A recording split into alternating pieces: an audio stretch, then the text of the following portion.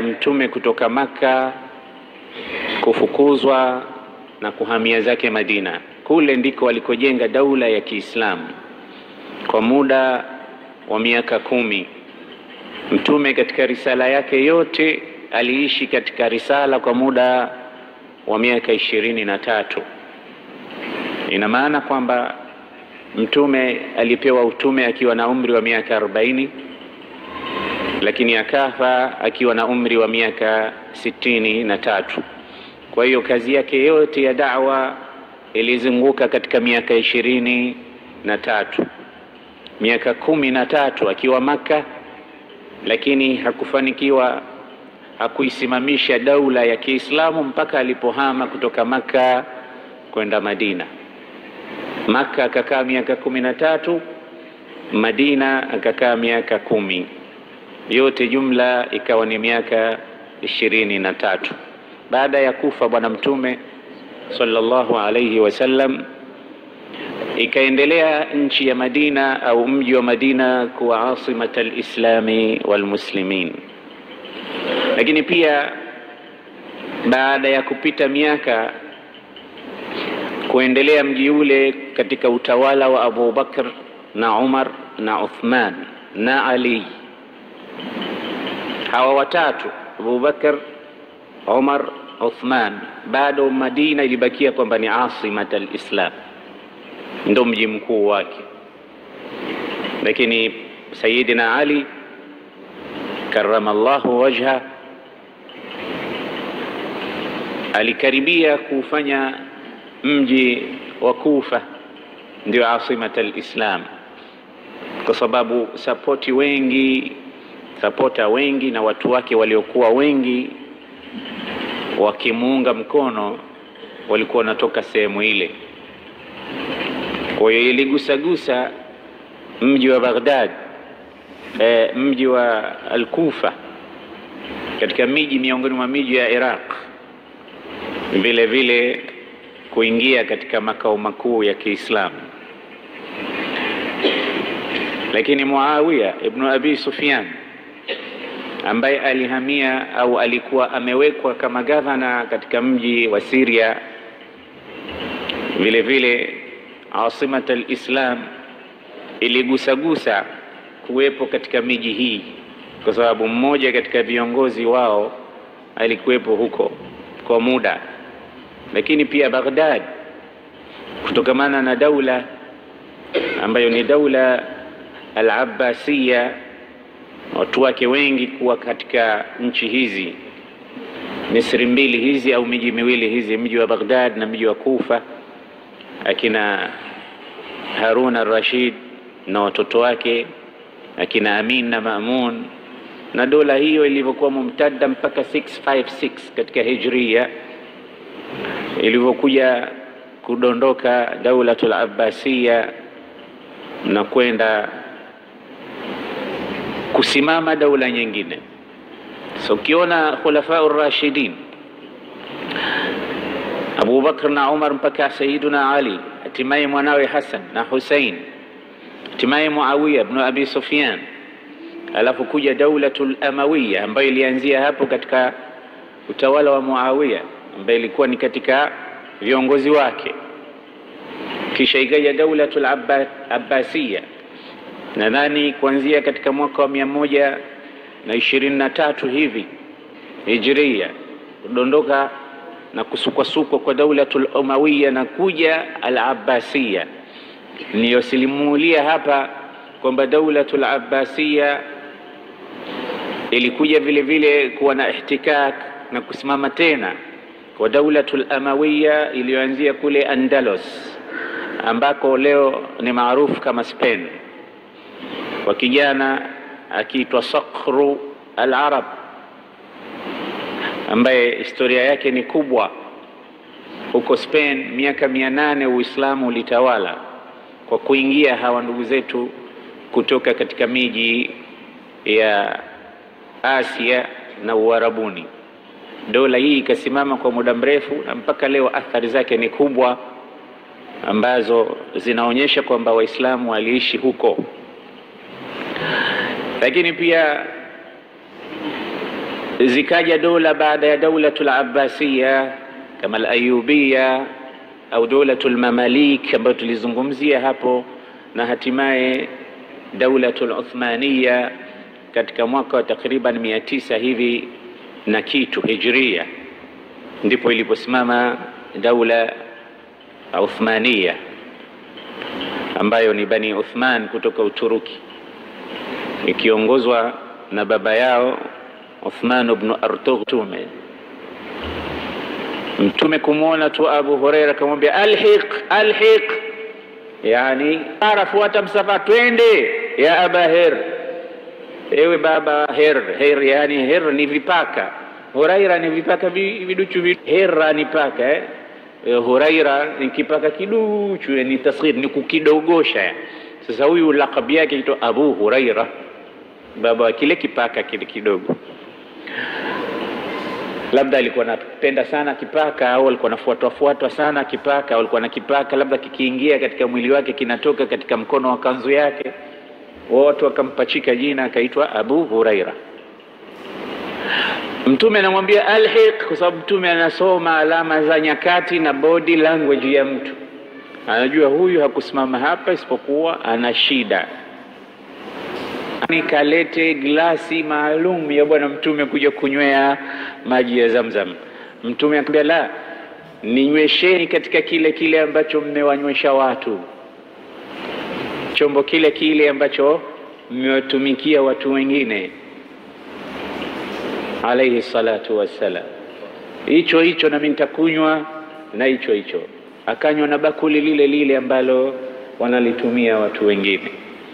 Mtume sallallahu alaihi wasallam akamwambia, hakubaki isipokuwa mimi na wewe, ishrab ya aba Huraira, kunywa sasa.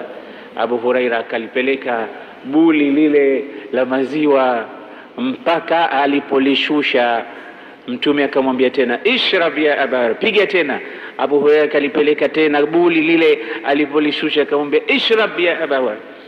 Mara ya tatu maziwa yakawa yana yanatoka kwa ishara kwamba ameshiba sana, full tank yanatoka. Akamwambia la ajidu lahu masaghan la ajidu lahu tariqan road block, ya Rasulullah, hayapati tena njia huko hakuna tena nafasi, yani nimeshiba full. Sasa si wewe ulikuwa unasema yatatosha haya, lakini mbona umekunywa mpaka yamebaki? Sasa ikawa zamu yake Bwana Mtume sallallahu alaihi wasallam. Ukimwona huyu na kisa hichi utakikumbuka, alikuwa nakunywa na anayemnywesha ni Mtume Muhammad sallallahu alaihi, na hiyo ni katika miujiza yake. Bali sio hiyo tu. Ukimwona yule ambaye walikuwepo katika vita vya Khandak, katika vita vile vya mahandaki, Jabiru bnu Abdillahi al-Ansari anakwenda anamwona Mtume anavunja majabali kwa mtaimbo, lakini tumbo lake limefungwa kitu hapa. Watu wanakuja kumshtakia, wanaambia Rasulullah, njaa imetupiga. Kisha wanafungua matumbo yao Mtume anatizama, anasema chozi akamdondoka, akaona lazima hapa nifanye kitu kwa ajili ya Mtume. Akaenda nyumbani kwake, akamwambia mke wake, mama fulani, fanya chakula, namwita Mtume pamoja na watu angalau watatu wanne, aje kula, kwa sababu hali nimeiona haiwezi kabisa kuvumilika. Akapika chakula, chakula watu watatu hivi wanne, kikaandaliwa kisha asema mimi nakuja sasa, naenda kumnong'oneza Mtume aje ale chakula. Jabir akifika kwenye handaki akatafuta timing ya kumnong'oneza Mtume, akamwambia ya Rasulullah, nimepika chakula nyumbani, fataala anta wa man maaka thalatha au arbaa, watu thalathatu nafar, watu watatu au wanne tu, usije na watu wengi, kwa sababu chakula ni kidogo, ni kichache. Mtume akanyanyua sauti akasema, ya ahla alkhandaq, enyi watu wa handaki hapa mnaochimba hapa, inna jabiran qad sanaa lakum at-ta'ama fahayhala. Jabiri anasema amekutengezeni chakula, twendeni. Jabiri anasema toba, sio hivyo ya Rasulullah, sio watu wote, wewe tuna watu wachache. twendeni, twendeni. Sasa ikaona hii itakuwa kazi, bora niwahi mimi nyumbani. Kawahi nyumbani, Mtume akamwita, vipi? Anamwambia, mwambie mke wako kama kuna chungu katika moto jikoni asikie pue, akiache hapo hapo, na kama kuna unga asiukande, mimi ndio kuukanda na kuutia hamira na kuubeka. Subiri, hiyo itakuwa kazi yangu. Kumbe kule Jabir kachinja mbuzi mmoja tu, mbuzi mmoja. Hata hapa naona kuna watu wanaweza wakammaliza wawili au watatu, lakini watu wa handaki ni watu wengi, ni mamia ya watu. Mtume akafika pale, akaenda akakiona chungu kile, akaona nyama zile, akaona mkate, yeye mwenyewe akaubeki Rasulullah, akauandaa mkate, akaweka tayari, na akaanza kukatakata na nyama ile, akafanya kama sandwich, akafanya na sahani pale, akamwambia sasa, Jabir, njoo waambie ingieni wawili wawili, watatu watatu, kumi kumi, lakini msisongamane. Wakaingia watu kidogo kidogo, kila anaingia wanapewa chakula, wanakula, wanapewa wanakula, wanapewa wanakula, wanapewa wanakula na mpaka wakala watu wote waliokuwa katika Khandak. Kisha akaambia eh, mwambie mke wako sasa, hiki kilichobaki ni chao na wawalishe na watu wengine. Anasema Jabir alivyoona lile grupu lote la watu wa Handak limekula akaenda jikoni mbio, anakitizama kile chungu, kimebaki kitu kweli? Na wote wale wamekula. Anasema tukala sisi na tukala na majirani zetu, na chakula kikabakia kama hakijaguswa. Msalieni Mtume. Sasa ukimwona Jabir ibn Abdullah mwenyewe aliyofanyiwa haya mambo na miujiza hii, macho yako taktahilu biruyatihi yatatia wanja kwa kumwona mtu mtukufu huyu aliyemwona mtume mtukufu. Sahaba wa mtume kamwona mtume. Ndio maana waliowaona masahaba wa mtume waliowaona walikuwa wakimkamata mtu mkono hivi, Abu Huraira, wanaukamata mkono wa Abu Huraira, kisha wanauchukua wana wanaupaka kwenye mili yao, wanasema hadhihi yadun massat yada rasulillah, msione hivi, huu mkono ni mkono uliogusa mkono wa mtume. Ule ni mkono uliogusa mkono wa mtume, wanaukamata mkono wa sahaba, wanajipakaa kwenye mili yao, wanasema mkono huu sio mkono wa kawaida, ni mkono uliokamata mkono wa mtume. Hasa hawa watu ni watu waliowaona nani? Waliomwona mtume, si watu wadogo. Wasahaba si watu wadogo wamemwona mtume sallallahu alaihi wasallam. Mmoja aliyekuwa amewaona masahaba aliwauliza suali, vipi alivyokuwa mtume kwenu nyinyi? Wakasema, kana rasulullahi binisbati ilaina kalmai lbarid binisbati lilatish, kama maji baridi yalivyo kwa mwenye kiu kali ndivyo alivyokuwa mtume kwetu. Anasema wallahi, angelikuwepo leo katika zama zetu mwana mtume, tusingemruhusu kutembea kwa miguu yake, tungembeba juu ya vichwa vyetu tukampeleka kila pahala anapokwenda. Huyu aliyemwona sahaba wa mtume anasema hivyo, kwa yale mapenzi yao makubwa, anasema ngelikuwepo leo mtume asingegusa chini miguu yake asingegusa chini, tungekuwa tunambeba juu kwa juu tunampeleka. Ah, ingekuwaje sisi leo ingelikuwa tuko katika zama za mtume? Lakini pia tushukuru, hatujui ingekuwaje. Pengine wewe ndo ungekuwa Abdullah ibn Ubay ibn Salul wakati wa mtume, you never know. Sasa pia shukuru, umezaliwa katika hizi zama huku Mwenyezi Mungu mwenyewe anapanga mambo yako. Pengine wewe ndio ungekuwa Abu Jahal, pengine Abu Lahab, pengine ungekuwa ungekuwa kafir, usingeamini risala ya bwana mtume eh, kwa sababu wewe jimakinishe leo na warithi wa mtume, unaishi nao vipi? Wale waliomrithi mtume unaishi nao vipi?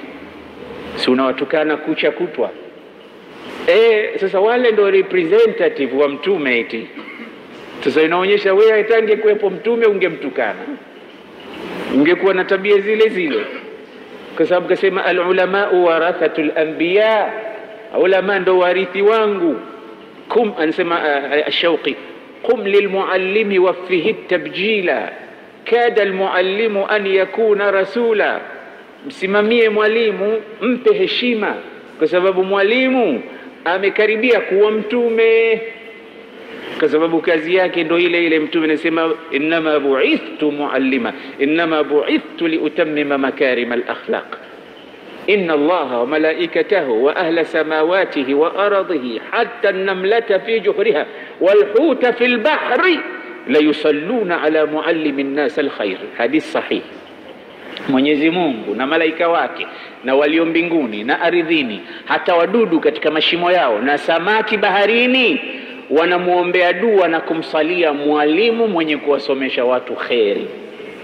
Sawe kama unamtukana Mtume, ungeshindwa kumtukana. Sasa shukuru kwamba hapa nilipopatikana mimi nimepatikana, alhamdulillah. Usemee ningekuwa wakati wa masahaba mi ningekuwa kama Abu Bakari kwa iman,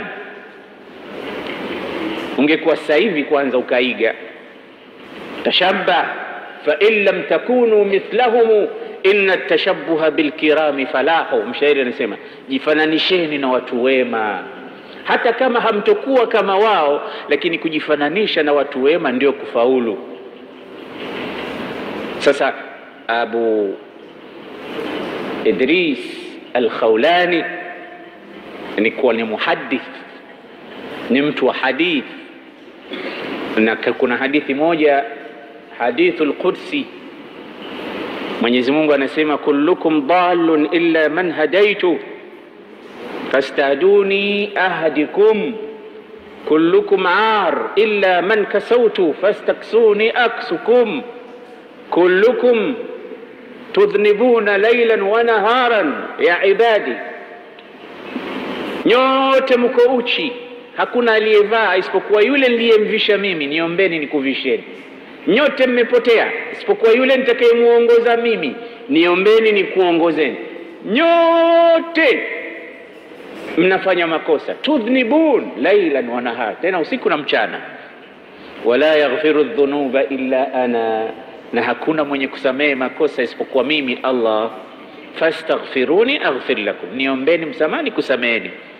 Ya ibadi, anasema laqad haramtu dhulma ala nafsi, mimi Allah nimejiharamishia dhulma mimi mwenyewe. Wajaaltuhu muharraman bainakum, na hiyo dhulma nimeifanya ni haramu kati yenu nyinyi kwa nyinyi fala tadhalamu, musidhulumiane. Hii hadithi mnaikumbuka nyote, mnaijua. Abu Idris al-Khawlani ameisimulia, kaipokea Imamu Ahmad rahimahullah radhiyallahu anhu, akamtaja kwa wema bwana huyu mpokezi wa hadithi huyu, ambaye katika silsila hiyo ni katika wachamungu wakubwa. Leo tunakwenda katika dhiafa yake na ziara ya kumzuru huyu, kwa sababu kuwa karibu na watu wema ndio kufaulu. Alikuwa ni tabi'i kama nilivyosema, alibahatika kuwaona adadan min asahaba. Aliishi Damashq na alikufa huko katika mwaka wa 80 hijria, mwaka wa 80 mwaka wa 80 hijria ndo mwaka wake aliyokufa. Kwa hiyo utakuta kwa mujibu wa tarehe aliyokufa, mwaka aliyokufa ni katika kibari tabi'in, mabwana wakubwa wale katika tabi'i e, waliowaona masahaba wa Mtume sallallahu alayhi wasallam. Abu Idris alivyokuwa katika firashul maut, yupo katika siku zake za mwisho alilia sana katika maradhi yake ya mauti, kilio kikubwa. Ikalazimika watu waliomzunguka kumuuliza, kwa sababu hawajawahi kumwona akilia kilio kama kile. Wakamuuliza, ya aba Idris, ma yubkik, ni kitu gani kinachokuliza hivi? Mbona unalia sana? kana kwamba wanamuuliza ma yubkika wa anta ant, kama ni mtu wa ibada we ni maarufu, kama ni mtu wa zuhudi we ni maarufu, wewe ndo alikuwa misikitini, wewe kila pahali, maneno yake mengi. Na moja katika akisema masajid majalis salihin, hii misikiti hii ndio maskani za watu wema. Hii ni katika koti zake muhimu alizorekodiwa. Anaambiwa ma yubkika, unalia nini? Lipi likulizalo? Akasema tulu safari wa qillatu zadi, kinachoniliza mimi mpaka kilio hiki mlichokiona mkakishangaa, nalizwa na safari ndefu ninayosafiri, lakini zawadi yenyewe ya kuwepo katika safari hiyo ikiwa ni ndogo nduchu kabisa, hainifikishi. aidi lkalama ya aba Idris ala asmai ummatin dhalla tariq, hebu yarudishe tena maneno haya, huenda na sisi tukachukua kama dhuhran, akiba na kubadilishia maisha yetu. Anasema ma yubkika, unalia nini? Anasema kinachoniliza tulu safar, ni hii safari refu ambayo imenikabili, wa qillatu zadi, na bidhaa chache niliyokuwa nayo katika safari yangu, na zawadi chache niliyoibeba katika safari yangu isiyofanana na masafa ya safari yenyewe. Mnaijua hiyo safari ndugu zangu? Mnaijua safari yenyewe ambayo wengine wengi wetu wameshaisafiri, wanakata miles. Mtume sallallahu alayhi wasallam alikufa katika mwaka wa kumi kuingia kumi na moja Hijria, baada ya kuhama kutoka wapi? Makka. Sasa hivi ni mwaka wangapi ndugu zangu kutokea mtume ahame?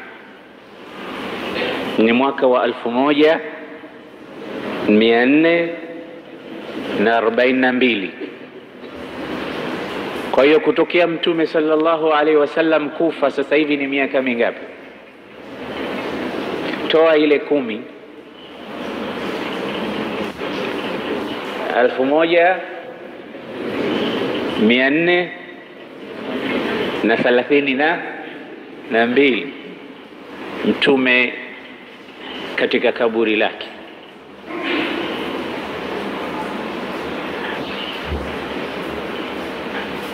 Miaka aloishi mtume ni mingapi katika dunia? sitini na tatu. Kwa hiyo miaka anayoishi katika kaburi mpaka sasa mpaka sasa mpaka sasa alfu moja mia nne na thelathini na mbili mpaka sasa hivi eh? mpaka sasa ni nani aliyeishi miaka alfu katika hii dunia? Nabi Nuh ni atwalu nnasi umran famakatha fihim alfa sanatin illa khamsina ama, lakini Nuhu ujue huko! Hatuwezi hata kurudi kinyume nyume tukaidhibiti miaka yake kutokea alipokufa mpaka leo ni miaka mingapi? Nabii Nuh tuseme aliishi hiyo miaka alfu moja na mia tano tuseme, maana haijulikani hiyo alfu ndiyo miaka katika utume, kwa sababu watu wa zamani walikuwa naishi sana. Ndio yule mama aliyekutikana kaburini analia analia analia analia Mtume akamuuliza wakati huo, unalia nini mama? Anasema nalia, anamlilia mwanangu amekufa akiwa mdogo, hata dunia hajaionja wala hajaiishi. Amekufa mdogo, ana miaka mingapi? mia mbili tu. Anasema miaka mia mbili eh? Unaonaje nikikwambia kwamba kuna umma utakuja huko, watu wake wataishi kati ya miaka sitini na sabini. Yule mama akasema eh, miaka sitini? Eh, si wewe unashtuka hapo kwamba mwanao ana miaka mia mbili kafa mdogo? watakuja wataishi, umri wao utakuwa baina sitini wa sabini, na ndio umri aliosema Mtume, amaru ummati ma baina sitini wa sabini wa qalilun man yatajawazu dhalik, umri wa umma utaishi sitini na sabini, ni wachache watakaopindukia hapo. Sasa watakuja huko, bibi yule akauliza, watajenga hao? Anasema hao ndo watakaojenga hasa. Hii nyumba zenu ni vibanda tu, maana watu wa nyumba nyumba hizo, angalia majengo yetu leo na ukijenga nyumba fundi isiyokuwa madhubuti unaweza hata ukashtakiwa ukafungwa. Tujenga nyumba itakaokaa karne nzima, wakati wewe mwenyewe unaishi miaka ishirini kama utawahi yani. Maanake wengi wetu tunapata pesa ndo tushafika tena umri wa miaka hamsini ndo tunatajirika, imebakia miaka kumi na tano tu tuondoke duniani, alafu tunajenga permanent house ya kuishi miaka mia mbili. Akili zetu zinakuwa wapi? Tunaweza kuona wa wengi wetu akili zetu hazina akili, kwa sababu kile ambacho tunakiendea kiko karibu kuliko kile ambacho tunakiacha. Nasema inna dunya qad irtahalat mudbira wal akhiratu qad irtahalat muqbila, dunia kila kukicha inatuaga kwa herini eh? na akhira kila kukicha inatuambia karibu karibu karibu, unakuja huku na karibu. walikulli minha banun takunu min abnai al-akhirah wala takunu min abnai ad-dunya fa inna al-yawma amalun wala hisab wa ghadan hisabun wala amal. Na huko kote kuna watu wake, akhira ina watu wake, dunia ina watu wake. Kuweni watu wa akhira, msiwe watu wa dunia. Ajabu ni kwamba leo sisi yule anayetukupungia mkono wa kwaheri ndo tunamkimbilia, tunamtaka. Kila mmoja anataallaq na dunia, dunia e, dunia e, dunia e. Yule anayetupa mikono ya karibu ndo tunamkimbia, wakati tunakwenda huko huko, na tunakwenda qaharan, hatuendi huko kwa hiari, tunakwenda tukitaka. Ewa, leo tumemsafirisha mmoja katika wanawake wema hapa Unguja, Bibi Zainab Thani, Mwenyezi Mungu amrehemu amsamehe makosa yake. Huyu mama mimi namjua muda mrefu, na tumekutana katika vikao vya kheri. Namjua kwa kiasi kutokana na harakati zake na mawasiliano yetu mimi na yeye, namjua sana. Alikuwa akija kuswali msikiti huu pale juu, msikiti huu wetu. Bi Zainab alikuwa akija kusali salatul juma mara nyingi sana, na mara nyingine yeye ndo alikuwa akinipa akinifungulia istiftah ya nini kizungumzwe katika jamii, kwa sababu moja katika sifa yake ni mwana harakati katika jamii. Bibi Zainab ni ismun ala musamma, ni jina limemsibu kama alivyokuwa Zainab ummul masakin. Bibi Zainab huyu nadhani mpaka amekufa ni chair lady, ni ni ni ni nani, ni mwenyekiti wa jumuiya fulani katika wanawake akina mama wa Kiislamu. Nimepata habari zimenishtua, amegongwa na bodaboda, na kama wapo hawa watu wa bodaboda, nawapa nasaha. Namna wanavyoendesha haya mabodaboda ni shay'un adhim, inatisha. Watu wawe makini katika uendeshaji wao wa gari, vyombo hivi, na sijui driving yao wanakwenda kusomea wapi, sijui. Mi sijawahi kuona driving school ya mabodaboda. Ukipata tu pesa, labda unaenda unachukua lako pale, unaingia barabarani unatoka nalo tu. Mwingine alikuwa anafanya kazi za nyumbani, ananunuliwa na bosi wake, nenda katafute hela, anakwenda kugonga watu huko. Si vibaya watu kutafuta riziki, Si vibaya watu kutafuta kula kwa vyombo vyovyote, wala sio vibaya, lakini inna Allaha yuhibbu idha amila ahadukum amalan an yutqinahu. Mtume anasema katika hadithi, mtu akifanya kazi, akifanya jambo alifanye kwa uzuri. Kwa hiyo hata wewe dereva ukiendesha gari iendeshe kwa uzuri. Wewe dereva wa bodaboda ukiliendesha bodaboda lako liendeshe kwa uzuri. Huu ndo wasia wa mtume wetu katika kila jambo, lifanye kwa uzuri. Mimi labda kwa dharura ya hali ya juu sana ndo utanipandisha kwenye bodaboda lako. Hata madereva kwa hakika tunatakiwa tuwe makini sana, tuwe makini sana katika uendeshaji wa vyombo vyetu. Nilivyosikia huyo bibi alikuwa anakwenda kusali salatu tarawih, amegongwa na bodaboda hilo, akaugua kwa muda mchache.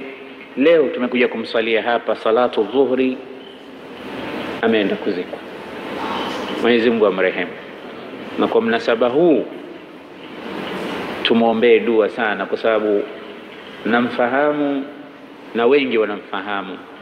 Alikuwa ni mtu mwema katika jamii ya tahfidhi alquran, ilikuwa tukimwona kwa mambo ya harakati na namna ya umma ulivyoharibikiwa leo. Haya mambo ya watu leo kulawitiana, watoto wadogo kuharibiwa, vitu vyote, yeye alikuwa mstari wa mbele katika kulipigia kelele hilo. Yeye ni mwanaharakati bimaana alkalima. Mwenyezi Mungu ambadilishie nyumba bora kuliko nyumba aliyoiacha na watu wazuri kuliko aliowaacha, alinawirishe kabri lake. Ndiyo safari hii tunayoizungumza, yeye mwenzetu leo ameianza. Bila shaka tulianza naye Ramadhan, bila shaka, na ni mfuatiliaji hodari wa darasa zetu. Nakumbuka mara ya mwisho alikuwa simu yake akinipigia akiniuliza kuhusu kitabu chetu cha maisha ya Bwana Mtume Muhammad, na nikafanya jitihada mpaka kikapatikana, tukampelekea. Ni mwanafu, ni msomi mzuri anayefuatilia mambo mengi ya kheri. Mwenyezi Mungu amlaze pema. Leo ndo ameianza safari yake.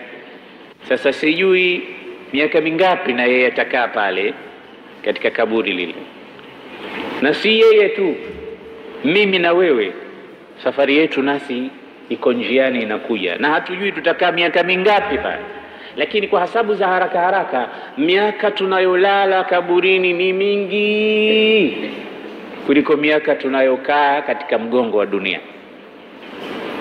Sayyidina Uthman ibnu Affan anasema ma raaitu mandharan illa wa kana alqabru, sijawahi kuona sehemu yoyote mandhari yoyote hali yoyote isipokuwa kaburi imekuwa ashaddu minhu, inatisha, afdhau minhu, inatisha kuliko sehemu yoyote.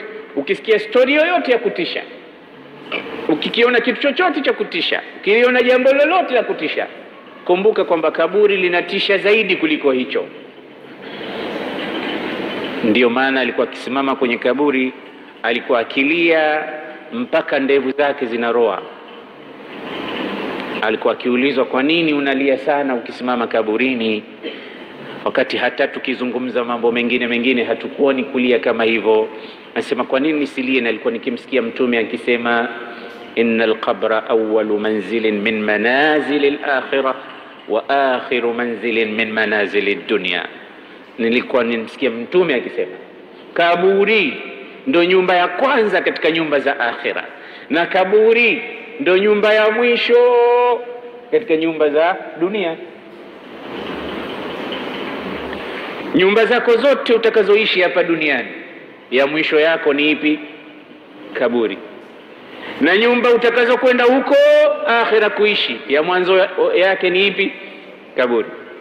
akhiru darin min diyari dunya wa awwalu darin min diyari al-akhirah. Basi yoyote atakayepata msaada na furaha na maisha mazuri katika kaburi, kinachofuata ni chepesi zaidi. Lakini yeyote atakayepata dhiki na tabu katika kaburi, yafuatayo ni makubwa zaidi kuliko yale aliyoyakuta pale kaburini.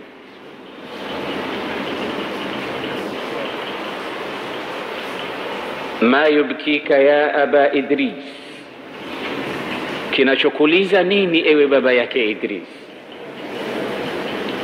Yubkini tulu safari wa qillati zad, kinachoniliza ni safari yangu kuwa refu, lakini zawadi yangu kuwa kidogo.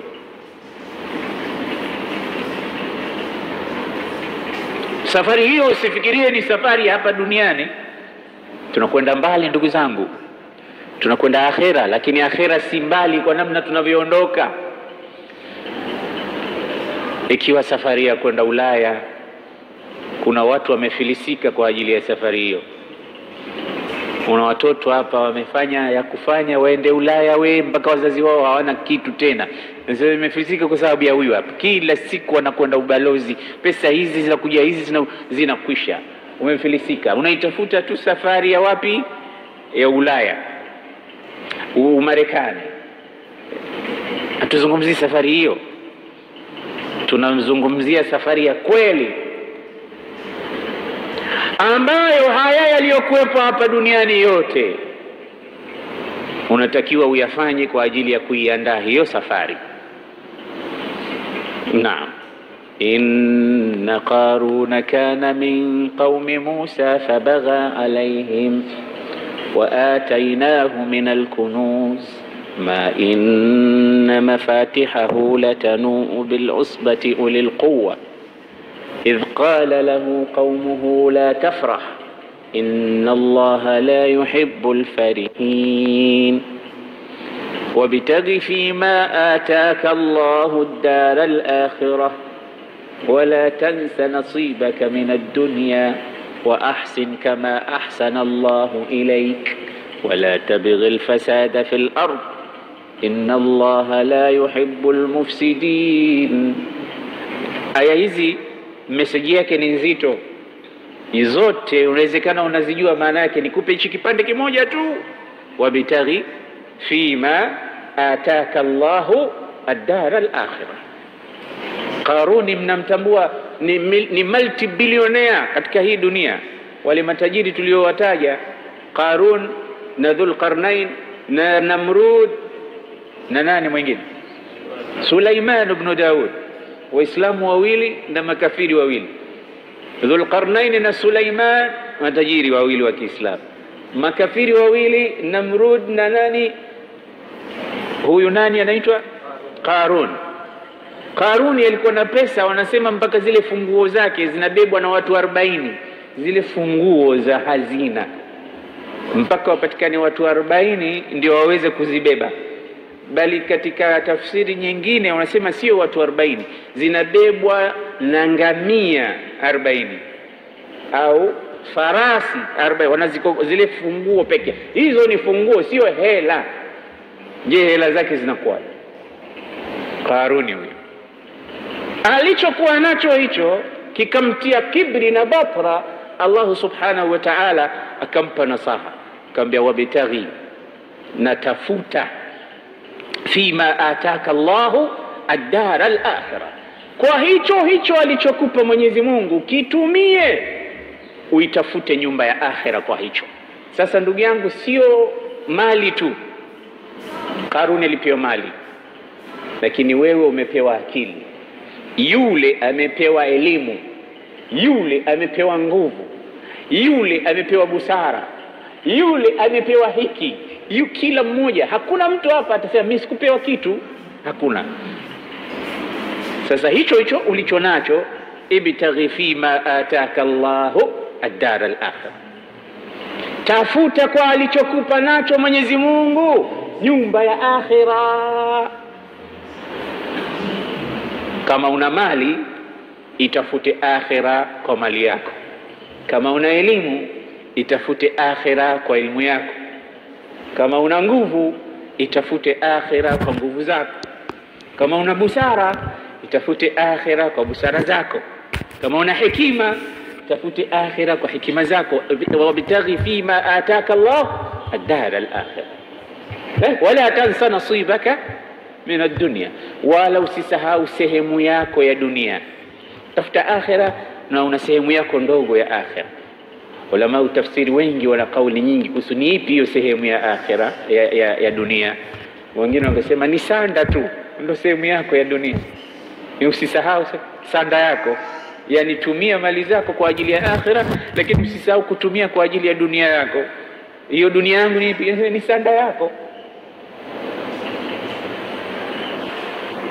Sasa yeyote ambaye atatumia alichopewa na Mwenyezi Mungu kwa ajili ya dunia tu amekosea matumizi yake. Ndio mwenye hekima mmoja alisema, almalu sayyidun sayyi, almalu sayyidun sayyi, sema mali ni bwana muovu, mali ni bosi mbaya, mali ni bosi mbaya. Almalu sayyidun sayyi walakinahu khadimun jayyid, lakini mali ni mtumishi mzuri. Unaona hekima hiyo? Mali ni bosi mbaya, lakini ni mtumwa mzuri. Namna utakavyoitumia mali, unaweza ukainunua pepo ya Allah kwa mali ambayo Mwenyezi Mungu amekupa. Ndio wabitaghi fima ataka Allah ad-dar al-akhir. Safari hii sote tutasafiri, ndugu zangu uwe pasipoti unayo, uwe huna, uwe unazo dola huna, unazo gharama huna, unazo masarifu huna. Safari hii utakwenda tu, utake usitake. Thumma ilaihi turjaun. Kwa nini akusema thumma ilaihi tarjiun? Akusema kisha kwake mtarudi. Thumma ilaihi turjaun, kisha kwake yeye mtarudishwa kwa maana kurudishwa hata kwa kubururwa, hakuna atakayerudi kwa hiari yake. Na kama mauti ndo unachagua, una una hakuna atakayechagua hapo. Mauti hayaonekani, yanakuja kwa ghafla, na utamwona yule mtu ambaye sasa hivi ameshatengeza kila kitu chake, na sasa hivi ni wakati wangu wa kutumia, hawai. Malakul mauti anakuja anamchukua, anaacha kila kitu hapa duniani. Hii ndio safari tunayoizungumzia. Ma yubkika ya aba Idris, unalia nini ewe Abu Idris? Anasema tulu safar wa qillatu zad zadi qalilun ma arahu muballighi alizadi abki am lituli masafati zadi qalilun, zawadi yangu ni kidogo. Ma arahu muballighi, sioni kwamba itanifikisha. Alizadi abki, je nilie kwa ajili ya zawadi am lituli masafati, au kwa sababu ya safari na masafa marefu. Sio safari ya kwenda huko. Anasema mmoja katika washairi wazuri waliotupa mawaidha, laisa algharibu ghariba alshami walyamani inna alghariba gharibu allahdi walkafani لا تنهرن غريبا حال غربته فالدهر ينهره بالذل والمحن إن الغريب له حق لغربته. عند الأهل في الأوطان والسكن. سفري بعيد ما أراه مبلغي سفري بعيد لا أراه مبلغي أنا سمع إن الغريب gharibu llahdi walkafani laisa algharibu ghariba lshami walyaman. Jamani, msafiri siye msafiri wa kwenda Syria wala Yemen, msafiri siye wa kwenda London au France, msafiri sio kwenda German au Italy, msafiri sio kwenda Makka au Marrakesh au Morocco Maghrib, msafiri sio kwenda Spain au msafiri akenda New Zealand au akenda huko katika miji ya Scandinavia, Msafiri inna alghariba gharibu llahdi walkafan, msafiri ni yule anayekwenda kaburini akalalia udongo akafunikwa na ubao. Huyo ndo msafiri wa kweli. laisa algharibu ghariba lshami walyamani inna alghariba gharibu llahdi walkafani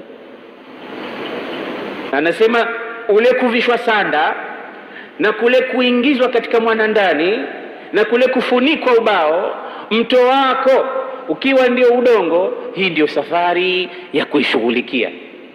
Hasanul Basri alimwona binti analia huko, anatoa maneno, anasema ya abatahu, ewe baba, mithla yaumika lam ara, mfano wa siku hii ya leo, mfano wa siku yako ya leo sijawahi kuona.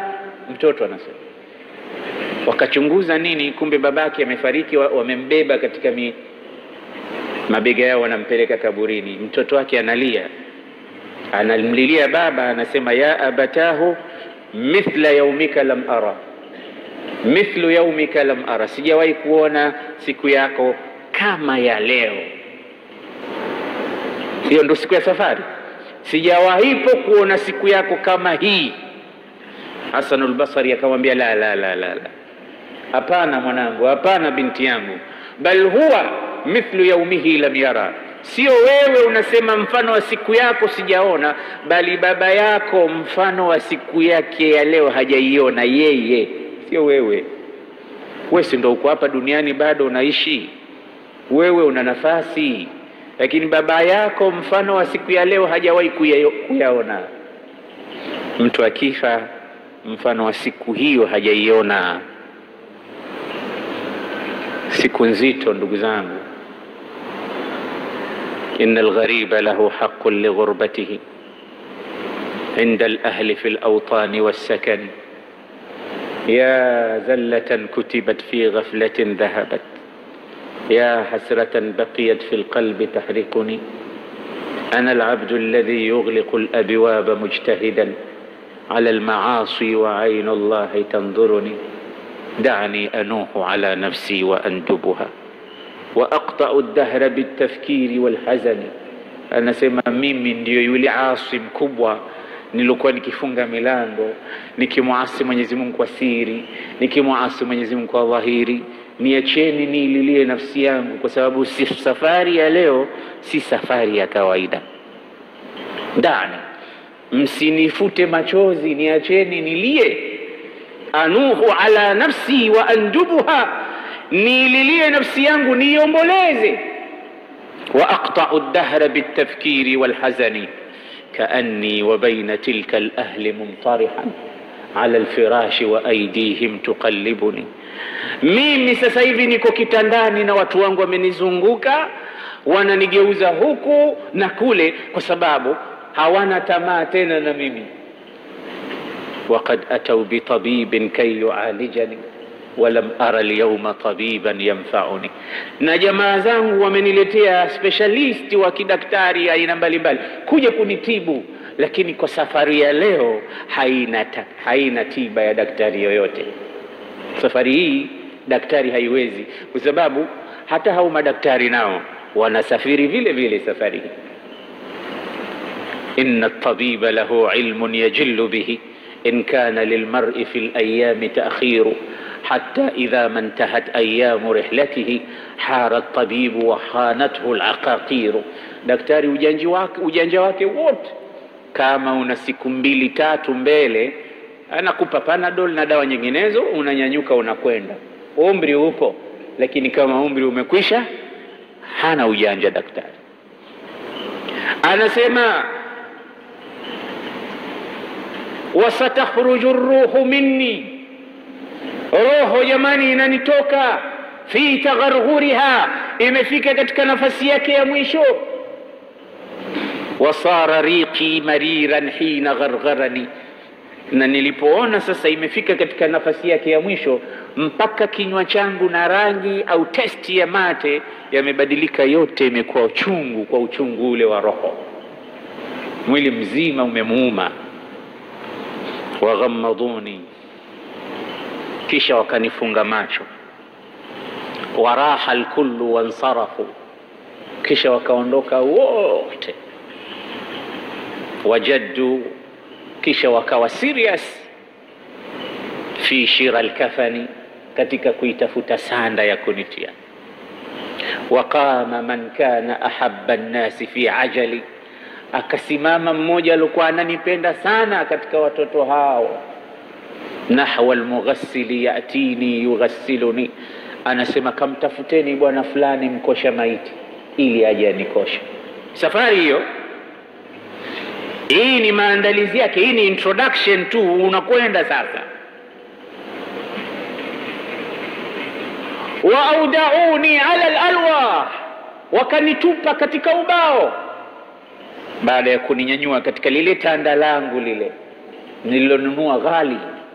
Unakwenda unaambiwa fanicha zote full hapa milioni nane, unazitoa unasema milioni nane kwangu mswaki tu, nataka hilo godoro lenye maji hilo niwe kama niko baharini naogelea. Sasa ile wanakunyanyua kutoka ile wanakuweka katika kiti kile ki ubao au kitanda kinaitwa mwakisu. Kuna kitanda wanakiita hivyo kule, ni kitanda kile cha kamba kile ambacho ukiwa mgeni uki, ukiambiwa kitanda chako hiki, mmeniona mimi maiti eh?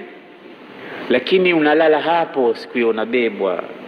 Asewa audauni ala lalwahi mumtarihan, wakanibeba wakaniweka katika ubao ule. Wasara fauqi harira almai yandhifuni, wakaanza kunimwagia juu yangu maji moto moto, wananinadhifisha. Waqala ya qaum royal family ya mtu huyu au watoto au marafiki au ndugu au mke au baba wa mtu huyu, anawaambia watu ya qaumi nabghi ghasilan hadiqan hurran adiban ariban fa, anasema arifan fatini ya qaum. E, jamani, sio mkoshaji tu, tunamtaka ghasilan, mkoshaji ana hadhiqan ambaye yuko makini, kwanza hatotoa siri. Sasa nimefika bwana, jamaa akatoa ulimi huyo kama mbwa, wanawasema maiti. Jamaa kafa vibaya bwana, kafa vibaya kweli kweli, jicho limemtoka, mdomo kaufungua, utafikiria alikuwa anataka kunimeza. Wakoshaji hao. Nimekwenda nimemkuta kajipaka paka paka paka kila sehemu, la la la la, nimepata kazi kubwa. Nimekwenda nimekwenda, jamaa nimemwona, kumbe ana tumbo kubwa, alikuwa analificha ficha tu, kumbe vile, kumbe vile, kumbe hivi, kumbe hivi. La nabghi ghasilan hadhiqan, makini tunamtaka, ariban adiban arifan fatini tunamtaka mkoshaji huyo. Mkoshaji analetwa. Wahamalu, nisemaje? waaudauni ala lalwahi mumtarihan wasakaba almaa ala wajhi yughasiluni, akawa ananikosha. wasakaba almaa ala dhahri yughasiluni ghuslan thalathan thumma nada alqauma bilkafani, kunikosha mara tatu tatu, kisha naambia sasa leteni sanda. Ndo nguo yako hiyo ulikuwa unanukia nguo zako, ilikuwa nguo safi, kwa nguo za kupigiwa mfano. za nguo yako moja tu, sanda. Wa albasuni thiyaban la kimama laha, wakanivisha nguo isiyokuwa na mikono. Kimam ndizo hizi zinaitwa akmam, haina mfuko, haina chochote, nimepasuliwa tu hivi. la kimama laha wasara zadi hanutan hina hanatan kisha wakanitilia zadi, yani nachosafiria kwenda nacho huko ni pamba. Pamba zile maiti yanakutia katika sehemu fulani fulani, e, kwenye pua huko, kwenye nini, kwenye makwapa, kwenye vidole nini, sehemu sehemu zile zinapachikwa pachikwa, ndo safari hiyo. wa akhrajuni min ad-dunya fawa asafa, wa akhrajuni min ad-dunya fawa asafa.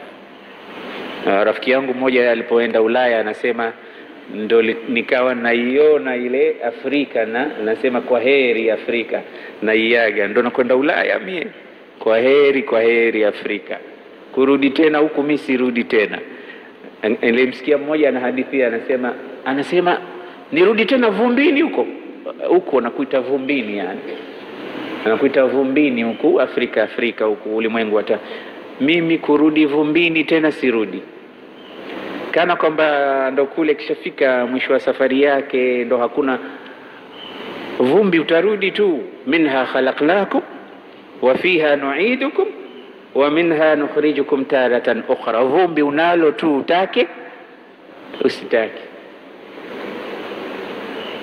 Sasa hapa huiagi Afrika, huiagi Europe kwenda Marekani, wala huiagi nchi kwenda nchi nyingine, unaiaga dunia.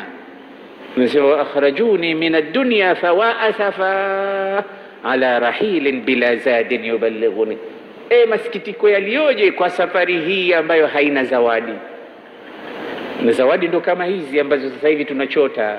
Zawadi ndo sala, zawadi ndo saum, zawadi ndo zaka, zawadi ndo amal.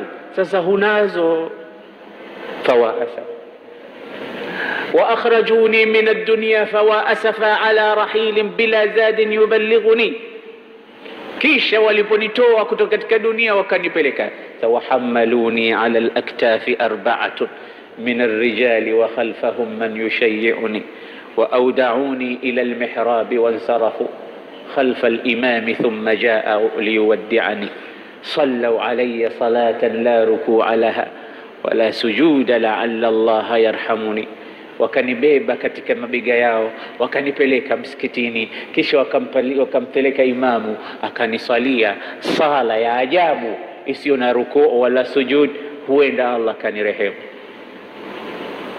Kisha wakanibeba tena wakanipeleka makaburini, safari hiyo. wa anzalu wahidan minhum yulahiduni, chini ya kaburi wakamshusha mmoja wao kwa ajili ya kuniweka vizuri. Taya mto wangu mwekee maiti mto. Usifikirie umeletwa ule wa nyumbani ukaletewa pale, hapana. Ni dongo moja kubwa unawekewa pale, unalilalia. Amelala vizuri yeye, tayari tayari.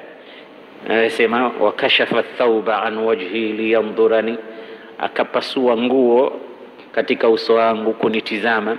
Wasakaba dama min ainaihi aghraqani, akatoa machozi akanimimina mpaka katika uso wangu fi dhulmati lqabri la ummu hunaka wala abu wala akhu shafiqun yuanisuni. Sasa niko katika kiza cha kaburi, hakuna baba, hakuna mama, hakuna kaka, hakuna mwenye kukuliwaza. min munkarin wa nakirin ma aqulu lahuma laqad hallani amruhuma jiddun fa abzaani. Munkar na nakiri nitawaambia nini wakiniuliza man rabbuka? Hapa na wasubiri kwa hamu, lakini wasiwasi na uoga ninao. Kisha anasemaje? waqala hullu alayhi turaba waghtanimu husna thawabi min arrahmani dhilminani, wakasema baadaye, e, jamani, mfukieni sasa, leteni michanga, fukieni mtu wetu huyu, thawabu nyingi mtazipata kwa kumstiri ndugu yenu. Taqasama alahlu mali baada man sarafu, wakarudi watu wangu walipofika kule wakakaa bunge. Sasa jamani, tunataka kurithi mali ya marehemu ile ulioiweka katika benki, ikawa unaionea tabu kuitumia tena, wala zaka haijatolewa tena, wala sadaka unaona ugumu tena, wala kheri yoyote haijafanyiwa. Ulikuwa unaifugafuga mwenyewe, unasema hii nitatumia siku za mbeleni. Siku za mbeleni hazijafika, umeshaondoka duniani. Taqasama الأهل mali بعدما انصرفوا وصار وزري على ظهر يثقلني mali wanagawana wao lakini hesabu ya hiyo mali nitaulizwa mimi niliichuma vipi? Wao hawana tena kosa, hata wakiitafuna wakiitwanga na waitwange kweli kweli, hawaulizwi mmeitafutaje. Wao wameirithi. Mzigo mkubwa ni yule aliyoitafuta.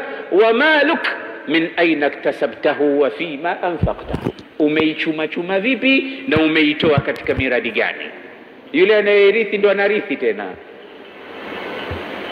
bali sio mali tu mpaka mkeo atarithiwa na wengine ndo watafurahi kweli kweli. Jamaa kafa eh? Ah, sasa hivi nafasi nzuri, kamwacha yule Hadija. Ah, mimi ndo wa kwanza kwenda, anaposwa hata aenda ijesha. Na ndio maana unaambiwa dunia si kitu. ibtaghi fima ataka Allahu ddara alakhira. Kwa nini unalia? Anasema tulu safar wa qillatu zad Mwenyezi Mungu atupe safari ya kheri yenye zawadi nyingi isiyokuwa na bughdha isiyokuwa na shari. Rabbana arina alhaqa haqqan warzuqna ittibaa وأرنا الباطل باطلا وارزقنا اجتنابه. اللهم إنا نسألك موجبات رحمتك وعزائم مغفرتك والغنيمة من كل بر السلامة من كل إثم الفوز بالجنة والنجاة من النار. برحمتك يا أرحم الراحمين. وصلى الله على سيدنا